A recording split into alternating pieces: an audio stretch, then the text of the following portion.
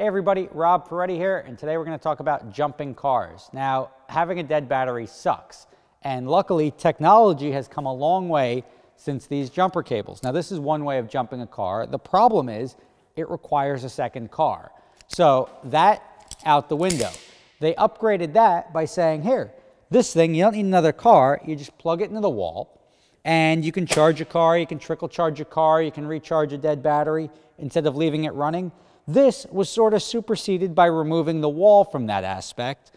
And they came up with something like this, which is, I mean, it's not, uh, it's not the lightest thing in the world, say probably 15 pounds, but it's convenient because you can plug it in, it'll hold a charge, and you can go jump a car one or two or three times and then have to plug it in again. So this, to, till just recently, was essentially the best. I mean, this is the best option. It's great, it's versatile, you can throw it in the back of your car but it just got better.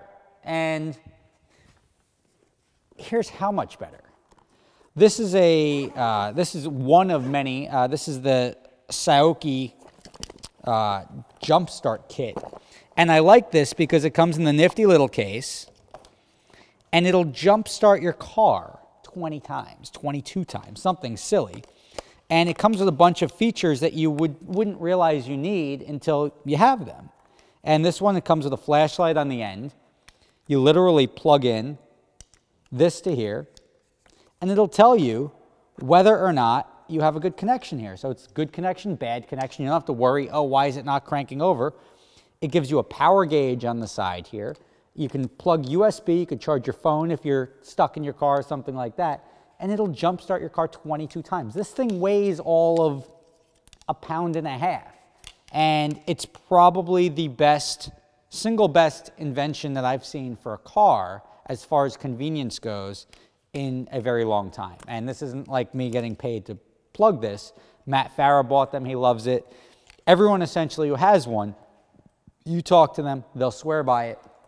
Uh, this specific model here uh, I picked up on Amazon for 90 bucks or 100 bucks, whatever it is. So well worth it. Go out, get yourself one of these, and your life will be much more convenient. You can literally throw this in your car, in your glove box, in your trunk. Doesn't take up a lot of space, and the fact that it jumps so many cars, it's great for a guy who has a shop, multiple cars. It's just convenience. That's me throwing you a shout out as far as what would be good for you to purchase for 100 bucks. I get nothing from this. This is not paid advertising. Check it out. Just me passing along, doing a good deed.